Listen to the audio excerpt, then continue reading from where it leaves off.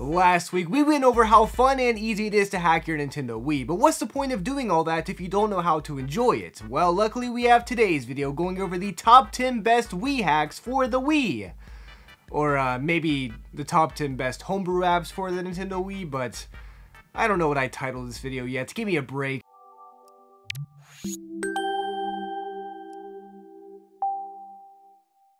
Starting off this list, we have a pretty basic one being Glow Wii. All this does is make your Wii disk drive glow or flash in certain patterns that you get to control. This is pretty cool, right? I mean, there's not much to say about it, but it's a cool little hack. I was going to place my MenuFi as number 10, but that mod is prone to bricking people's Wii's when they do something wrong, and I don't want to encourage you guys to download that and then accidentally brick your Wii. MyMenuify, though, if you are curious, just changes the theme on your Wii menu. So if you ever ever go on a YouTube video and you see one of those crazy looking themes, it's because they're using this mod. It's certainly cool and arguably cooler than Glow Wii, but it's too dangerous. Glow Wii, on the other hand, is harmless and pretty fun. It even has more customization options than I would have assumed, but I do wish there was some better UI. Either way, this is just a fun little hack for your Wii that makes it look a little bit cooler. Plus, if you want to take some pictures of your Wii for Instagram and Twitter, or I mean uh, X, this might enhance that a little bit. Also, before we move on, I want to preface this video by saying that RiiConnect24 and Wiimmfi are banned because first of all, they're overpowered, but more importantly, I'm going to be doing another video talking about those soon. And if you've never heard of them, they basically allow you to play games online again, but just subscribe and stay tuned for that video.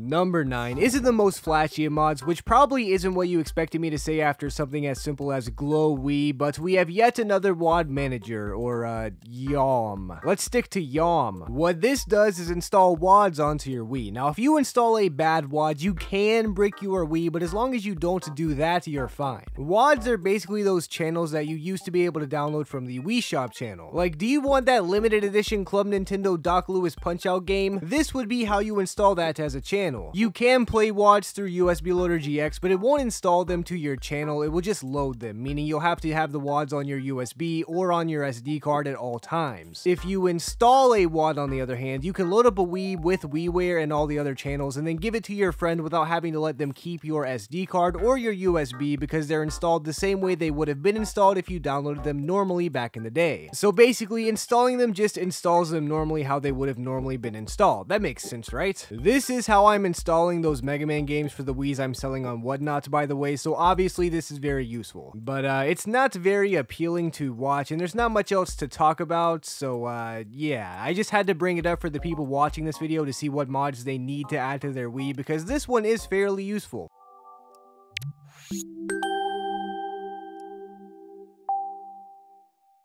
For number 8, we have yet another very simple but useful mod being the button tester. Sure, you could just open up a game and try to test buttons on your controllers, but this is much more useful and detailed way to do it. It lets you test Wiimotes, Wii accessories like the nunchuck and the classic controller, GameCube controllers, and even the Guitar Hero guitars, but uh, I don't have one of those, so I can't show that off. Again, this homebrew app isn't really a big deal, but it's just nice to have around, especially when you have over 100 broken Wiimotes lying around your house. You need a quick way to test them after trying to fix them all. You guys know how that is, right? No? Just me? Well, I promise that video is coming soon, and this app is going to make things a lot easier for me to deal with. I mean, it lets you test every button very quickly, as well as the motion controls and vibrations. I'm sure whatever dev tool Nintendo used to test the Wiimotes was on a similar level to this, so it's a really nice app just to have on your SD card just in case. Plus, if you're absolutely beating somebody in Smash Bros and they blame their controller, you can pull this app up and make sure they aren't Johning. Anyway, I know this is yet another underwhelming hack for the Wii, but it is very useful. In and that's important too, guys. I'm also not counting homebrew games in this video, by the way, because those are literal games and not really hacks, otherwise stuff like RuneScape might have made the cut. But worry not, guys, I promise things are only going to get cooler and cooler as we get closer to number one.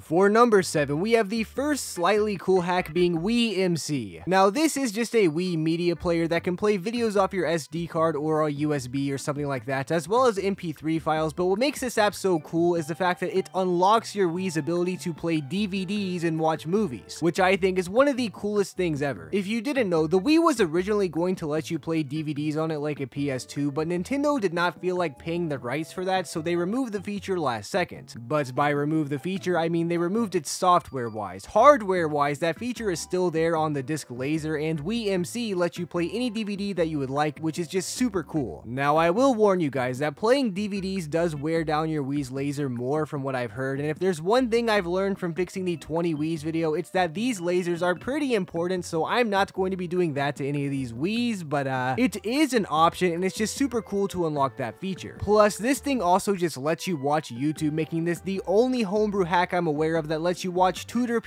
videos. So really, this should be number one. You agree, right? I mean, Tooterp on the Wii? Wii Wednesday on the Wii? What could be better? Don't answer that. The answer is nothing.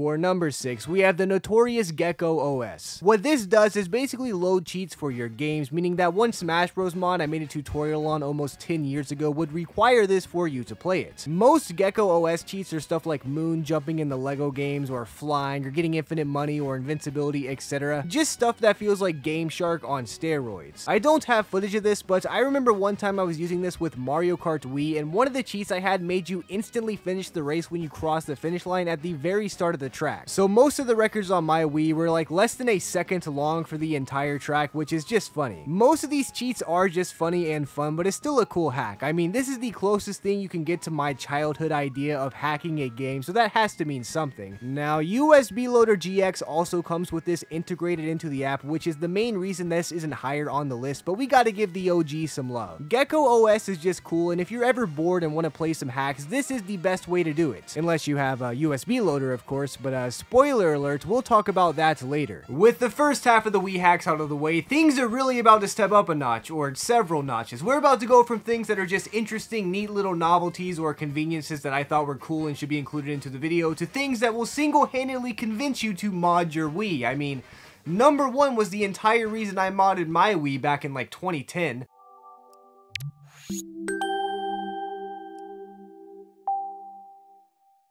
Coming in at number 5, we have Preloader. Now this can actually do a lot of stuff and most of it is fairly technical and not something I want to try to explain in a video like this, but some of the simpler stuff it lets you do is move the disc channel around on the system menu, skip the warning section when you turn on your Wii, skip the connection test when you connect to the Wi-Fi, and a lot of stuff like that. But the most important and coolest thing this does is let you unregion lock your Wii. You remember all those Japanese games I got from my Whatnot care package a while back in that one video? Well, despite only only having North American Wii's, I can now test and play all of my Japanese games like Donkey Kong Country Returns. This is one of the coolest things ever to me, and I don't exactly know why. Like, yeah, it is cool to play games that normally would be region locked, but the fact that it's just an option to completely make your Wii region free is amazing and one of my favorite features of any hacked Wii. Plus, another really big feature of Preloader is that it can save you from getting bricked. The way this loads is by turning on your Wii with the reset button held down. That's how you get to this menu. So if you do something something stupid and brick your Wii, and you're still able to load this and play your games and probably even fix your bricked Wii, which is a pretty nice feature. Now, I've personally never bricked any Wii's despite the amount of hacking I've done to them over the decades and decades I've been doing this, but that's just because I always do tons of research and try to be extra careful, but if I ever did see a hack that I really wanted that had the risk of bricking my Wii, I would definitely install this as a trump card, or uh,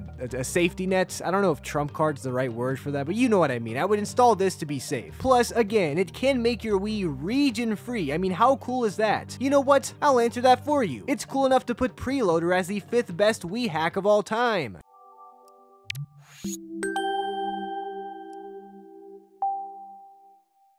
For number 4, we have a fairly obscure hack for the Wii being NetSlug. This allows you to play offline games like New Super Mario Bros. Wii with your friends online. Now before you start asking, hey, what about Wiimmfi and RiiConnect24 being banned and not this being banned? Let me explain, guys. Those other two hacks basically bring back Nintendo's online services under new homebrew ownership. That's why it lets you play Mario Kart online or use the Check Mii Out channel. But NetSlug allows you to play games that only ever had local multiplayer online, similar to how the Dolphin emulator has netplay, except, well, it is a bit more complicated. There's a lot to set up for this thing, and a lot of things need to be synced between your friends' Wii's. For example, you need to have all the same sensor bar settings, like, you know the setting where you say whether or not it is above or below your TV? That has to be the same for everyone's Wii. You also have to have the exact same save file since those don't sync up, meaning you probably just want to start a new game and then keep that as your NetSlug save file when your friends want to play New Super Mario Bros. or uh, Mario Party 8, but who plays Mario Party 8? Despite the complications though, this thing works great and is super impressive that you're able to play New Super Mario Bros. Wii online with your friends on the original hardware of the Wii. I mean, Nintendo didn't even allow online play for New Super Mario Bros. until it was on the Switch. Plus, if you watched my top 10 best Wii games video, you'd know that New Super Mario Bros. Wii is actually one of my favorite games despite how much other YouTubers tend to hate on it, so I love this mod. I mean, I haven't really had a chance to use it because I don't have any friends with modded Wii's. I do have a lot of totally real friends though in real life that are real.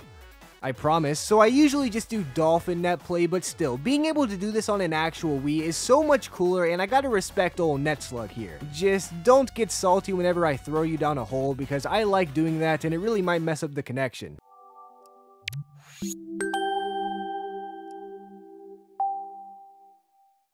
For number 3, we have the App Store for Wii Hacks being the Homebrew browser. There's no better way to describe it than that. This thing gives you easy access to like 80% of all homebrew hacks on the Wii and is by far the easiest way to install any homebrew app. Back when I was first modding my Wii many years ago, it wasn't so simple to install channels. You had to do a lot of stupid and goofy things like jumping through hoops, and I have pulled many a hamstrings doing that. Eventually, the Wii modding scene evolved, and all you had to do was drag and drop things onto your SD card for the majority of homebrew apps, but then came the homebrew browser. Now, you really only need to install this one mod and it allows you to browse almost every other homebrew app you would ever need and download them directly from your Wii. You do need an internet connection, but that's only because it literally downloads the apps to your SD card and saves you a lot of trouble. I mean, maybe this shouldn't count because it's just an app store, but as someone who's been around the Wii modding scene longer than I've been making videos on YouTube, it's really impressive to see how easy things have become for people, and I'm very happy to see things have gotten better. This is the biggest ease of access improvement I've ever seen in all of my years of Wii modding next to maybe Letterbomb or something. So if installing stuff gives you anxiety or you're just lazy, download this one hack onto the homebrew channel and lay back on your couch and browse for mods you actually want to use. Plus, it's a great way to browse for games, which I'm still not counting, but like I didn't know there was RuneScape on the Wii before I had the homebrew browser, nor did I know there was Windows Pinball, but that one didn't work on my Wii for some reason. I wish I could report that and leave a review like on Google Play, but I guess that's asking too much. Either way, even if this shouldn't technically count, I think it does count since it is a Wii hack and a homebrew app, and it's by far the most useful and easy to use one out of all of them, which is why it is the third best homebrew app of all time.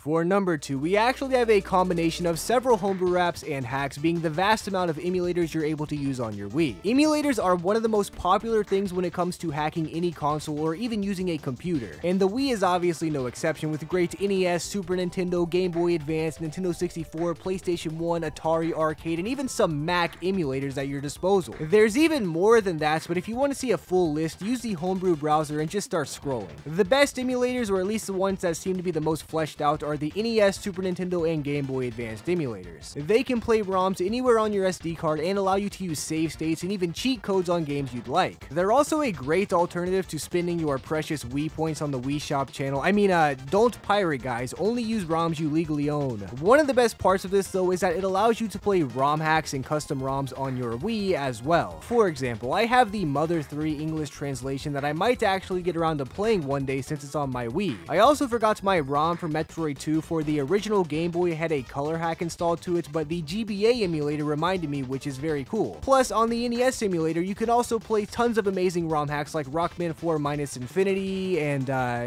you know, all the other ones. ROM hacks are something I really want to get into more, especially when it comes to Mega Man games, and I will eventually make a lot of videos about them, but if you're really curious about Mega Man ROM hacks and you just can't wait any longer, I highly suggest checking out Fake Mega Rob Dad's Twitch channel because he's one of the best Mega Man ROM hack players in the world, and he will tell you all about them and show off the best ones. But anyway, enough on that tangent. Emulators are great and they all run super well on the Wii. I mean, what could possibly be better than every emulator for every Nintendo system plus other systems that released before the Wii?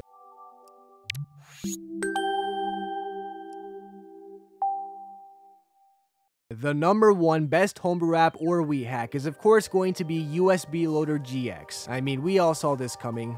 Get it? We. But as much as I like subverting your expectations and trolling you guys, this is undebatably the best homebrew app you could ever have, and it's also the most popular for that reason alone. Not only can you play Wii games off of a USB drive, but it also has Gecko OS implemented into it, meaning you can also use all of those cheat codes. It also allows you to use WADs, meaning you don't have to install any of them with YAWM. It also allows you to play Japanese and PAL exclusive games as well, meaning you don't need preloader. I mean, this app has the features of several of the top 10 best hacks already, as well as letting you play Wii games off of a USB drive. Plus, at some point, USB Loader GX added the ability to play GameCube games off of your USB drive as well. I'm not sure when this was added because it certainly wasn't around when I first installed this hack back in the day, but this just adds a whole nother layer to it because I love the GameCube even more than I like the Wii. You can go from playing Project M to Melee to Mario Kart Wii to Mario Kart Double Dash to Kirby Air Ride, etc. all in one homebrew app. This app just has it all and is presented with multiple different options for UI for you to use. You can look at all the covers of your games like a virtual collection, or you can look at them in the Wii menu style like your Wii has a thousand discs jammed inside of it at once, you get to choose which one loads. There are a couple other USB loader type hacks like WiiFlow that's supposed to be nicer looking, but as much as I like WiiFlow, USB Loader GX is just as good as it gets due to the amount of features it has. We all knew this was going to be the best hack on the Wii, so I hope I didn't disappoint you by not surprising you, but you can't use USB Loader GX and tell me there's a better Wii hack out there. Well, unless you're subscribed, of course, but subscribing to my channel gets you many privileges that the average human being can't have or get away with, so uh, you should try that out for yourself and find out what it entails. Those were the top 10 best hacks for the Nintendo Wii, or the top 10 best homebrew channel apps. I still don't know what I titled this video, but as always, I hope you enjoyed. And for those of you who are still wondering, I am still working on fixing 100 plus broken Wiimotes. It's just that it's hard to film that video and fix the Wiimotes while making two videos a week, so it might be another week or two before they're ready, but I literally have 106 broken Wii remotes in my house, and some of them look real bad, but you gotta subscribe and stay tuned if you want to see how that goes.